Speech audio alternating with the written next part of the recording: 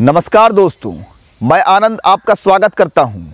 और आज आपसे चर्चा करना चाहता हूँ कि हर एक समाज में अपराध के लिए सजा, सज़ा की व्यवस्था होती है।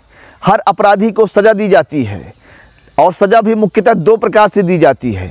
एक सज़ा होता है कठोर सज़ा, जैसे आप सऊदी अरब वगैरह में आज भी सुनते हैं, भारत और अनेक मुल्कों में यह पहले इतिहास में हुआ करता था, लेकिन आज के समय में बंद हो चुका है। उसे कहते हैं कठोर सज़ा। जैसे चोरी करने पर हाथ काट देना, बलात्कार करने पर लिंग काट देना, इत्यादि अनेकों प्रकार की जैसे आँखें फोड़ देना, सूली पर चढ़ा देना, कोड़ों से मारना, ऐसे पहले अपरा अपराधों के लिए ऐसी सजाएँ प्रचलित थीं। लेकिन बाद में क्या हुआ कि इन्हें नरम कर दिया गया। आज हमारे देश में नरम सजाओं का प्रावधान है कि यदि आप चोरी किए हैं तो आपको मारा पीटा नहीं जाएगा, आपको जेल में बंद कर दिया जाएगा। तो मुख्यतः दो प्रकार से सजा प्रचलित हैं। एक होता है कठोर सजा और एक होता है नरम सजा।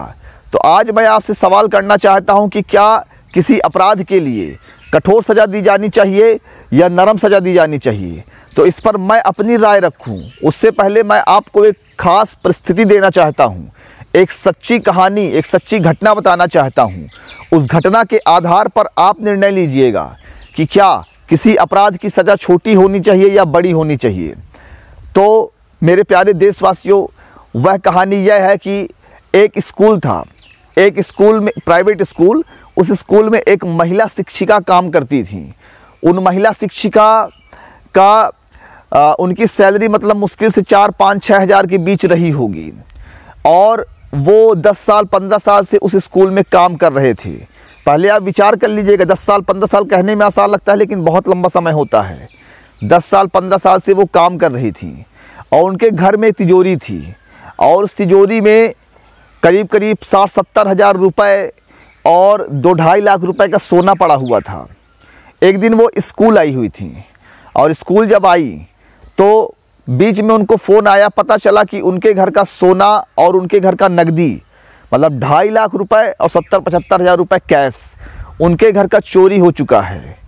जब वो महिला ने, जब वो महिला शिक्षिका ने इस बात को सुनी तो उन्हें उस स्कूल में चक्कर मार दिया। बेहोश हो गई, बहुत ज़्यादा दुखी हुई। कुछ परिस्थितियों में तो किन्हीं किन्हीं की मौत भी हो जाती है, हार्ट अटैक आने से। तो आप कल्पना कर सकते हैं कि जो शिक्षिका जो पाँच हज़ार रुपये महीने का पा रही है मतलब साठ हज़ार रुपये वो साल का पा रही है। अगर वो, वैसे तो पाँच हज़ार रुपये खर्च हो जाने हैं, अगर सेविंग्स के रूप में कहा जाए तो पाँच हज़ार रुपये सैलरी पाने वाली कोई भी कर्मचारी उसको तीन, साढ़े तीन लाख रुपए बनाने में कम से कम 20 से 25 साल का समय लगेगा। यदि वो इस प्रकार सैलरी पा रही है तो तो ऐसी स्थिति में कोई चोर रातों रात उसके पैसों को हड़प ले गया, चुरा ले गया। और ऐसी परिस्थिति में वह महिला शिक्षिका बेहोश हो जाती है। कुछ लोग मर भी जाते हैं हार्ट अटैक से।